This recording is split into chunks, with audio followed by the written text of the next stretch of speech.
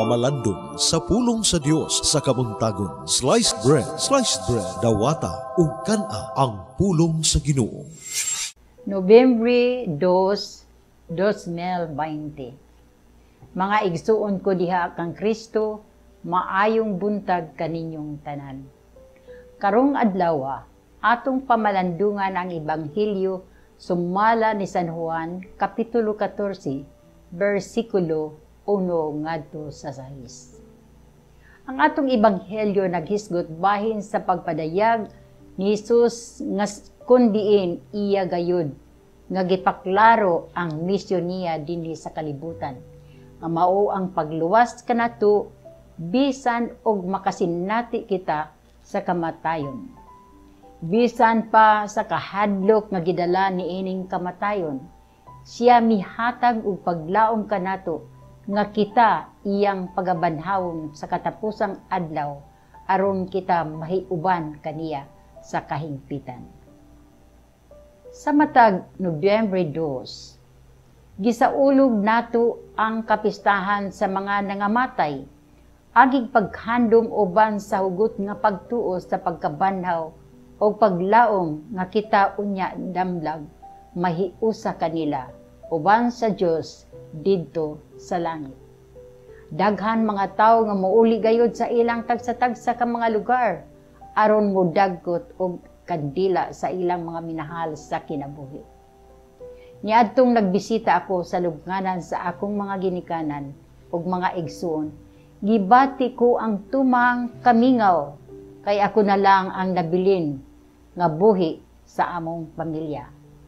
Apan malipayon ako, maghandom nga bisan sa ilang hinanaling kamatayon tungod sa cardiac arrest, gipuy-an nila ang kinabuhing Kristohanon. Ang mga kalag sa atong mga minahal nga nangamatay, wala na mangandoy bisan unsa pa ang atong gikinahanglan ang ilang gipangayo nga mao ang atong pag-ampo og sakripisyo sa entrance sa lubnganan dito sa Cebu makita nimo ang dakong gisulat ako karon ug ikaw ugma walay makagawa sa kalibutan kung dili siya mamatay niining panahon sa pandemya, adunay mga klase sa kamatayon nga atong nahiaguman o nahiaguman sa atong mga igsuon. Dunay nag-anto sa gitawag psychological death o psychological nga kamatayon. Mga tawo nga nawad na sa pag sa maayong pangisip, dili na mahibalo unsay angay buhaton tungod sa sobra nga paghuna-una unsaon pagsulbad ang nagkadaiyang problema sa kinabuhi. Buhi sila, apan patay na, kay wala na'y kadasig pagpakabuhi. Ang uban gani maghikog, muinom og daghan druga aron malimtan ang tanan pag-antos. Samtang ang uban nag-antos usab sa gitawag natong spiritual, espirituhanong kamatayon o spiritual death. Mga tao nga wala na ipagtuo nga adunay Dios tungod kay naganto sila sa kalisod. Para kanila walay kapuslanan ang ilang pagampo kay wala tubaga sa Dios ang ilang gipangayo sa atong kahimtang karon moingon sila asa na ang Ginoo nganong wala niya ipahuning hunong kining COVID nganong sunod-sunod ang katalagman nga atong giantos karon. Hain ang Ginoo. Ang uban usab nagantos sa gitawag physical death. Physical nga kamatayon. Ang kamatayon sa panagbulag sa lawas ug kalag. Adunay duha ka klase sa, sa physical death. Dunay namatay nga natural kabubuton sa Ginoo ug naay namatay kay gipatay sa tawo ug mga katalagban. Ang uban nag-anto sa katilingbanong kamatayon or social death. Mga tawo nga dili makiglambigit sa ilang isig kaingon diha sa katilingban. Gusto lang mag-inusara, dili na mag-apil-apil sa GSK ug uban pa. Ang uban usab diha sa katilingban naganto sa economical death. Mga tawo nga naganto sa kagutom, walay trabaho, biktima sa katalagman ug walay kapuy-an. Walay kadangpan sa ilang kalisod. Ang uban nagmahay kay wala makadawat sa tabang sa gobyerno.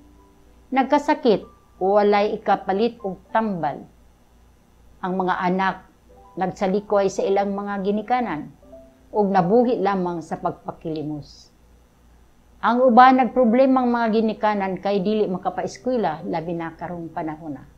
Samtang ang uban naganto sa gitawag political nga kamatayon o political death. Mga tawo nga nawad-a na sa pagsalig sa panggamhanan. Dili na mo salig sa panggobyerno nga pagdumala. Walay kagawasan sa pagsulti o pagpanalipod sa katungod na priso nga walay sala. Walay kas katungod nga musulti bahin sa nakita nila nga inhustisya. Ang uban pa nahadlok bahin nining anti-terrorist bill naka-pictures ilang katungod sa kagawasan. Si Jesus mingon kaniya, Ako mao ang pagkabanhaw ug ang kinabuhi. Ang musalig kanako bisan siya mamatay, mabuhi siya. ug ang tanan nga buhi nga nagasalig kanako dili gayud mamatay. Mutuo pa kamo niini? Busa mga igisuon ko, siya mingon nga ayaw kamo kahadlok. Ayaw kamo kaguol. Salig sa Dios ug salig kanako. Sa balay sa akong amahan adunay daghang mga lawak ug ako magaandam sa dapit alang kaninyo. Siya ang dalan, kamatuuran ug ang kinabuhi. Dili ordinaryong mga mata ang gikinahanglan sa pakigtagbo ng Hesus nagkinahanglan kita sa mata sa pagtuo. Busa mga igsuo ni Kristo, bisan unsa nga kamatayon nga atong nasinati sa atong kinabuhi. Karon adunay paglaom nga mabanhaw kita ni ining kamatayon nga atong nahiaguman. Diha sa giya sa atong mga pamalandong karon, manguta na kita sa atong kaugalingon. Hugot ba ang akong pagsalig o pagtuo sa Ginoo labi na nining pandemya karon. Gitagaan ba nako og bili ang akong kinabuhi? Kumusta ang akong relasyon sa akong isig katawo? Atong pamalandungan mga igsoon nga kita lumalabay lamang ning kalibutan.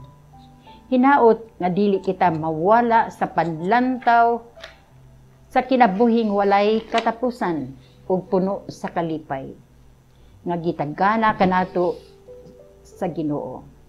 Daghan salamat sa inyong pagpaminaw.